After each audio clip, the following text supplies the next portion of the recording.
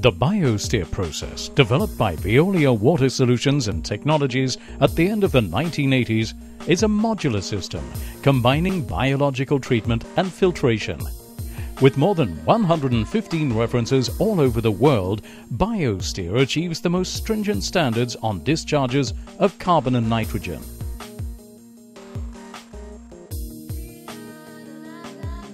Every cell includes an internal water distribution system, a coarse bubble aeration grid, and nozzle decks holding the filter media, which is comprised of polystyrene beads providing a medium for biofilm growth. The size of the beads is chosen based on the specific process application.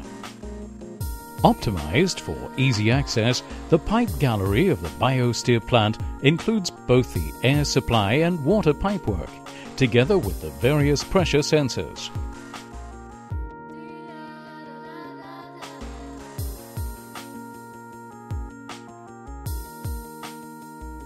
An inlet feed channel equipped with overflow weirs ensures equal distribution of the water among the cells in filtration. The oxygen required for the biological activity within each cell is provided by the internal coarse bubble air distribution manifold within each cell. The co-current air and water upflow through the biostyrene media facilitates the dissolution of the oxygen in the water. The treated water is then collected above the cells common effluent outlet channel connecting all the filter cells before being discharged over an outlet weir. Periodically, cells are backwashed by gravity to remove the solids captured by filtration as well as the excess biomass.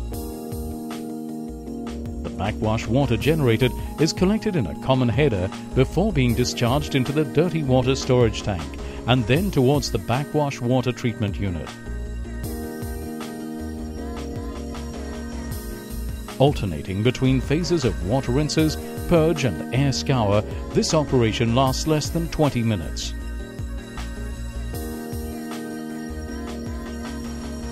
Biostyr is completely automated. With Veolink, our service offer, the system is easy to operate. With its modular design, Biostyr is well suited for any size of wastewater plant handling wide ranges of loads and flows.